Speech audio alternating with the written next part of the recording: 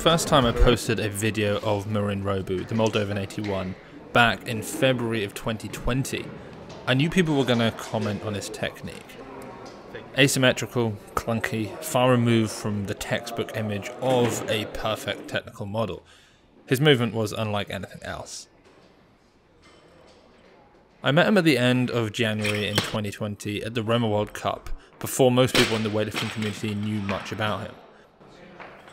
And that first video I posted of him snatching 152 kilos in the 73 kilo category garnered over 191,000 views on the Weightlifting House Instagram account, which is way up there for us, particularly two years ago. And to put that into perspective, Lasha's performance from the same competition garnered fewer views and likes than Marin Robu. I think the reason Marin garners so much attention is because his technique musters significant interest from people on both sides of the technique aisle. He's more than just slightly different, he moves really quite differently to the norm. So much so that it rallies the if it's not textbook, he should drop down to the PVC pipe troops, enough to in turn bring out of retirement due to the sheer frustration at the idiocy of the camp. The there is no perfect technique and if it works, it works camp. But the thing with Marin is that he has more of a physical obstruction that limits the dorsiflexion, that is, the ability to push his knee forward over his toes, on his right side. Pushing your knees far forward is extremely helpful in weightlifting, not only allowing you to squat deeply, but also it reduces the flexibility requirements of the hips and allows you to find a stretch reflex in the quads to come up out of the hole with. But it isn't necessary.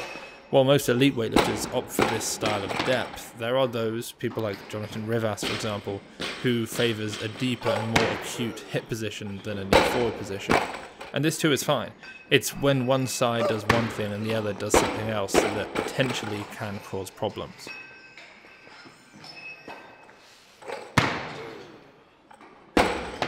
The right knee can't push particularly far forward while the left can, which causes a pretty major hip shift and twist, loading one side more than the other.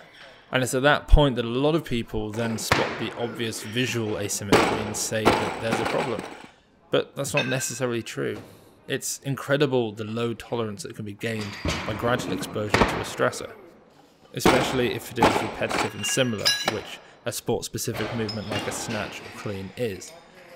Though to the outsider it may look like this technique is going to cause a lot of injury, and no doubt there will be people who have read a few too many S&C for beginners books who will regardless comment below saying that he needs to sort things out. But it's amazing how little problems this has caused him. Could he lift more if he had no physical obstruction on his right side? Yes, quite possibly, but the time spent trying to change such ingrained motor patterns would require such a reduction in exposure to sport specific tasks that his ability to compete would reduce significantly.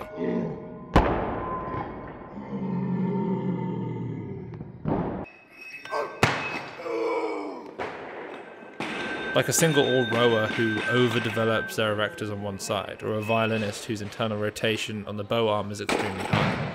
Sure, you could make an effort correct, and I hate even using the term correct as it kind of inadvertently suggests a current fault, a supposed imbalance, but the effort to change would massively reduce the advantage that the athlete, in this case Marin Robu, has physically. Marin is also well aware of this. On that first post of mine showing off his form, people commented things like, good luck with your knees in the future, and this guy needs Kelly Starrett's supple leopard, which, by the way, is a comment so cliche it verges on parody. And Marin Robu commented on the post saying, Thanks for the comments, but this is my technique. It's his technique, and it works well for him. He stretches anterior tibialis at the start of his workouts on his right side, he wears a knee sleeve and wrist straps on his left, and just lifts. A week after this training session that you're watching now, he snatched more than any other 81 kilo weightlifter at the World Championships, taking the gold medal in that lift with 168 kilos. After a competition record clean and jerk at 195 kilos, he was able to take the bronze medal at the competition. As one of the physically weakest in the lineup in terms of his squat and deadlift, Marin outsnatched the rest of the pack. So something's working, that's for sure. On top of all of this, and as a random aside, Marin Robu is a really nice guy. He's great fun to film also. And if you're currently not following him, I suggest that you do.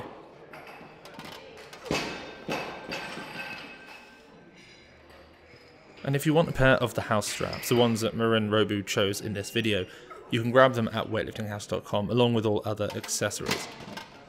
It's worth mentioning that all product sales at weightliftinghouse.com go right back into creating content and tracking the various competitions. Also, the one day international coaches only conference is March 20th. Learn from Latvian, German, Cuban, and Spanish coaches. The links are all down below. Don't forget to like and subscribe.